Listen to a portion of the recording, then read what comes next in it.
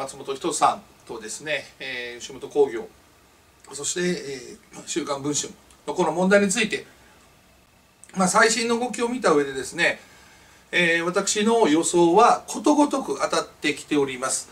えー次に私が予想するのは松本人志さんは間違いなく YouTube に出演されます。YouTube でご自身の主張をされるということをここは新しい予想とさせていただきます。であのまあここをですね、まあ、刑事裁判というか刑事に関しては実は僕は2段目の記事を見てうんこれはないなと。で私のとこに寄せられてる情報を聞いても刑事裁判になるようなことはまずないと。松本人志さんはテレビの世界には入れない。これはもう間違いないんですね。もうこれは吉本興業は松本人志さんを完全に切りに行っています。